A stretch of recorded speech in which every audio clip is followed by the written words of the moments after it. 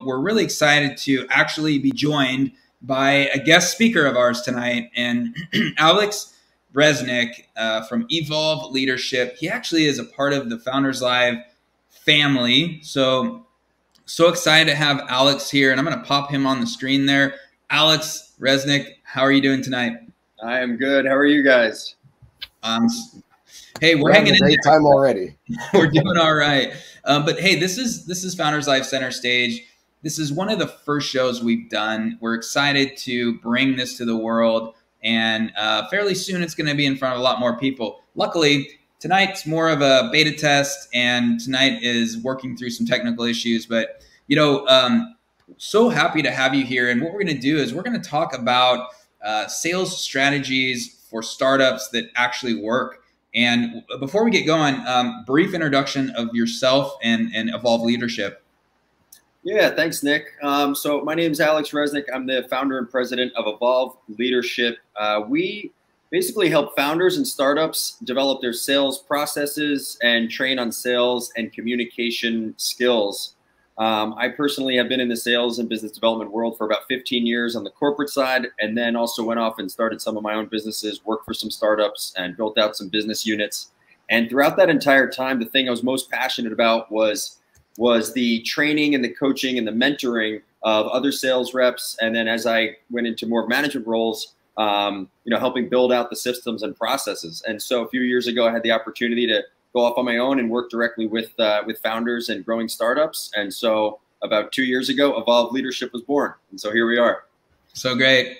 Um, you know, we want to jump in, and you know, hopefully, we have enough time for this uh, in terms of the the, the the stuff that we really want to talk about. But you know, you evolve leadership. You have tremendous sales experience. Um, you know, we want to dive into, especially for startups and founders, just sales strategies. And first question here is, what would you say is the most common traps that founders fall into? Especially, you know, biggest mistakes that you see when you know they're just starting their journey and they're, they're just starting to build out their, their their approach and process to sales. Yeah, so I work with a lot of early stage founders through to maybe they're ready to raise capital, or maybe they're doing about maybe six figures or coming on seven figures in uh, in revenue. And in that space, I see a lot of founders fall into the same traps. Um, there's a lot of them out there, um, but I want to focus on just a couple for the purposes of tonight. And I know we don't have a lot of time. And a big one is a lot of founders I see avoid doing the selling themselves they may have come from a technical background, maybe they didn't come from a sales background. They have a good idea for a product, and they're hoping that one somehow when I build this product and I set up a website, it's somehow magically going to sell itself. Absolutely not the case. I think one of the most misleading quotes of our generation is from uh, Field of Dreams: "If you build it, they will come." That is absolutely not true. I wish it was the case, but it's not. And so the thing that I would encourage all founders to do, whether you're technical, you're project management, you're, you uh, came from the marketing side, it does not matter. If you're the founder and it's your product, you or someone on the co-founding team has to do the selling in the beginning. And the reason why is because you have to be the one talking to your customers. You're going to be the most passionate more than any other sales rep that you might hire.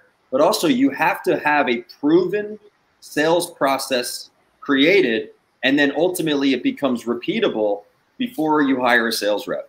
And so that's one of the first traps that I see is avoid doing the selling themselves.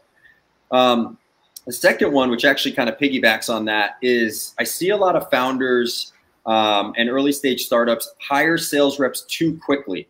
And so, kind of to continue what I was just saying, they'll hire a sales professional thinking that the sales rep can build out these sales systems. Hey, you know, here's my product, go figure out how to sell it.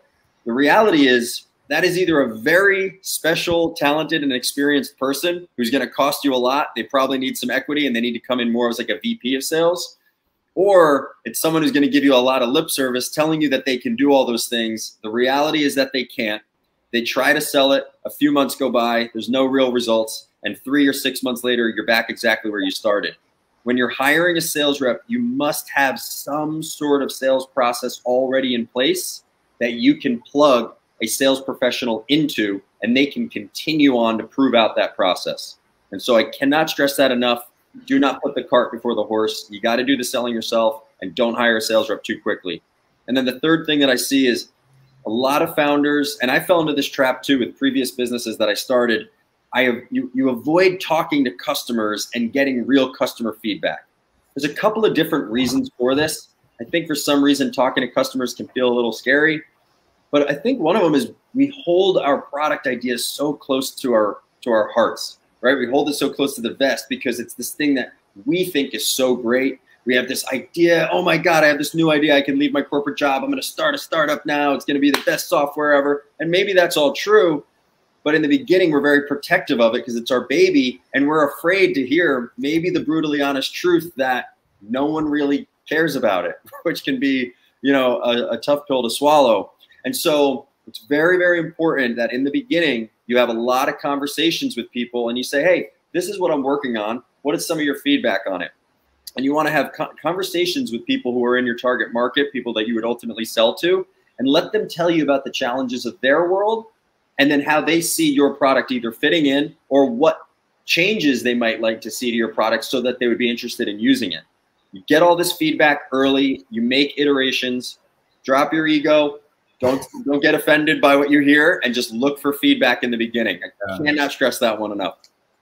Yeah, so um, important. Um, you know, and Luis, a lot of us know that, and, and yet sometimes it's hard to ask for that, and or hard to oh. take it, hard to listen. Those are those are some of the humility lessons um, founders have to, uh, you know, force themselves into. Um, that's a good thing, though. Yeah, absolutely. And we and there's a lot of things with uh, I think with sales and entrepreneurship that we kind of know. We've read about it, we've heard it, we've seen it in an online course, we've heard some other you know successful entrepreneur tell us about it. But the reality is we don't act in accordance with a lot of the things that we know. And mm-hmm. and there's you know without getting too deep on this whole topic, there's a number of different reasons for that. But if I could if I could stress anything, it's approaching your sales with a with a perspective of self awareness your whole business and your whole life is self awareness, but especially your sales and being brutally honest and looking for feedback and objective, uh, objective feedback and constructive criticism. Awesome. Rules to live by. You know, Alex, what would you suggest? What are your advice for maybe more technical founders that um, either are, you know, maybe a bit fearful of, of sales, maybe just don't even know where to start? Uh, what would be your advice on a technical team that needs to get going on that?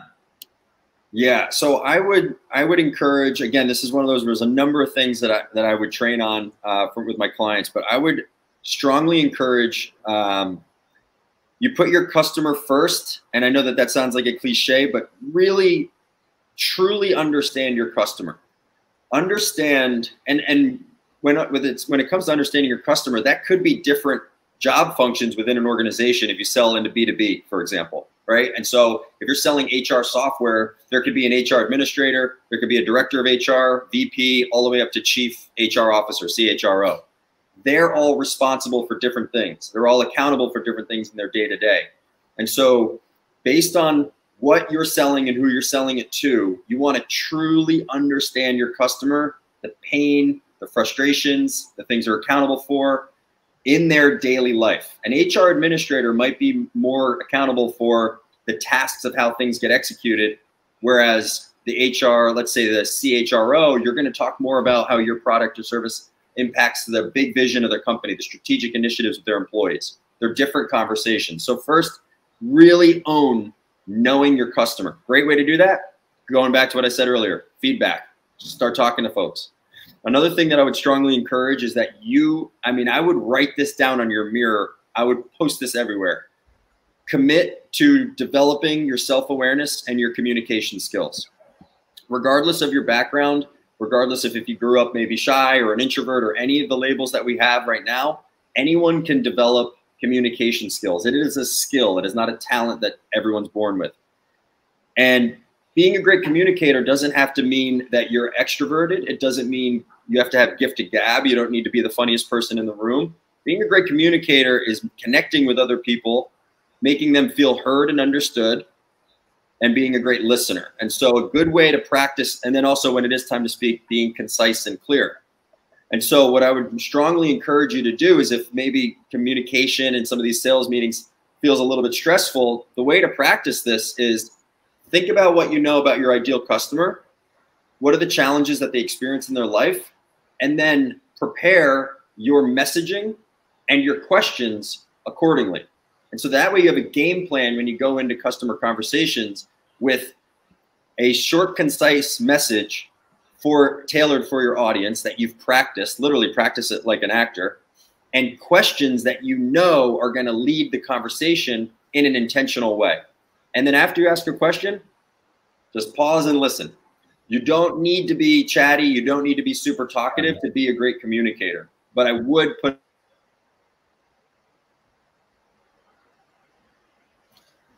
Oh, did, did, did well, Alex pause at the? We'll, we'll get him moment? back. Um, I fully agree with Alex there. I fully agree that you know you got to listen. You got to really, um, really ask great questions and then listen to your customers' answers. Uh, Luis, what do you think about that? Yeah, I love that. I, I like what Alex is doing here, though. He's he he's saying something that you know might that he's acknowledging we've all heard and we know, um, but then he's pairing this up with with uh, an action point to take things that um, things that we can actually do in a real world sense to make sure that we're following through on those things that we know we should be doing. Um, I think that that uh, you know taking it all at a zoom out level to be like learn learn communication skills, learn um, learn how to make yourself better uh, better listener and all these other things they're they're those are things that help you in so many different ways it's so awesome for him to call that out alex is back hey man um you, a, did, a did everyone cut out did, there? We, did we lose everybody, or was it just me? It, it, well, it was just you, but I can tell you right now, um, Luis. Remember earlier today? It's like okay, the tech gods are doing their thing. And um, side note, everyone, and this I don't. We will not get off tangent on this, but I was reading that there was a big solar flare um, from the oh, sun wow. that was happening this week, and you know things happen right like those are like electrical storms and stuff so we're probably getting hit it's all good um, we have about four minutes left uh, um, alex you know is there a is there a question that i didn't ask that you love to answer so hmm. ask a question and answer your own question what i want to hear that. my own question um, i think i have a hunch that people are all aware of the terms self-awareness and emotional intelligence and you know oh like it's all good to, to develop those things but i feel like people don't really like a lot of people i felt this way earlier on where it's like well how do i really go about developing these skills like what does it yeah. mean to raise your emotional intelligence? What does it mean to become more self-aware? And so the, the simplest thing that I would recommend people do that has a significant impact that you could do in real time when it comes to like to be deepening your self-awareness basically more awareness of who you truly are and more awareness of how you show up for other people. What is other people's experience of talking to you? The best way to get clarity on who you are and then how you show up for others is through observation so you can observe your own thoughts emotions feelings things that you're thinking by just journaling at the end of the day how did today go what did i do well? What did I do that I could have maybe done better? Use questions like that to prompt you so you start to write. 20 minutes of writing will change your whole world in terms of reflection, uh, uh, I'm sorry, clarity on things that you really want, thing, who you really are, what you really care about. And then as it relates to showing up for others, um, I got feedback from a coach a couple years ago that, you know, I have to intentionally soften my brow and talk slower. Because believe it or not, I actually talk twice as fast as this at my normal pace. Because I'm from New Jersey and I want to just get everything done. Blah, blah, blah, and then I also can do this thing where I look at people like this. And I had a coach who was like, you know, you're looking at people like you're gonna like, and I and in my world, I'm like in a good mood, like not thinking anything's negative, but I'm coming up like, what are your, how's your day going? You know, and yeah. so some so some of the things that you can do to, to show up for people in a more effective way compassionate way whatever it might be is just simply record your calls record your zoom calls or if you're running sales calls in, in person hopefully that kind of you know comes back a little bit but even though zoom's more efficient um, record your calls or run meetings with a with a counterpart who can give you honest feedback and not stroke your ego feedback, honest feedback at the end of a meeting. I still do that to this day. And I've been in sales for 15 years. I run a lot of our larger client opportunities with a consultant partner. And right away at the end, all right, how, how do you think that went? How could we have done better? What did we do well? Yeah. what could we improve on. And so I know that that's probably advice we've heard for years, but a lot of people will graze over it. Most people who hear this right now won't won't do it. Won't do it. Yeah. Um, and so I'm telling you, it's the powerful stuff right there. But you know, we can see right here, Gary Malcolm. Thank you for mentioning uh, looking at communication really as a practice, and so you don't have to be perfect. It's an evolving thing. You know, maybe yes. even evolving leadership, but it's um, you know that's what communication is. And I think what what you just mentioned, Alex, was like being open to that feedback, which is not easy. You know, it's not easy to ask the questions and then be ready for the honest answers. And you know, we're we're all in that place. Um, yeah. So I want to want to bring up here uh, last before we drop off evolveleadership.co. Um, any thoughts what you'd like to share with us around the website? What would you, you know people can reach out? How did how, how would you instruct them to go about that? Yeah, you can follow us on all social channels at Evolve Leadership LLC. So LinkedIn, uh, Instagram, and Facebook. Uh, we're going to start, and also YouTube. We're going to start putting a lot more free content out there around communication skills for sales and for leaders. Um, we also love the personal development stuff as well. So, um, career development, professional development, leadership development type content. Um, if you're a founder or you're part of a startup team and you're looking to improve, create, or improve your sales processes, how you go to market, um, how you secure meetings, close clients, etc., or looking for training or coaching on sales, communication skills, asking good questions, overcoming objections, closing, things like that those are kind of our, our kind of that's our bread and butter there. So we work with founders and, and growing startups in that capacity. Awesome. And Alex, well, you have a you have an academy class coming up, is that right? Yes, next Thursday we have a founders live free training. The topic, um, let's see, the topic is. Oh, you put it in the chat there? Yeah. So it's basically a new approach to selling that actually works. Um, I like to throw out a lot of the get rid of the old sales cliches that cloud our judgment.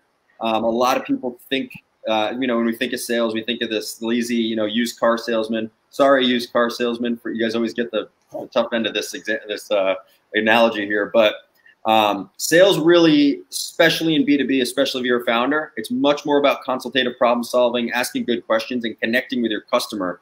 And so next week's training is going to be um, some techniques and some tools that you guys can implement in your business right away um, to improve those areas. So it's totally free. It's a Founders Live free training next Thursday, 1 Eastern, 10 Pacific. Um, and we'll put a link to it uh, in the show later. Awesome. Also find it on LinkedIn. we love you doing this for us. It's great. Thank you, Alex.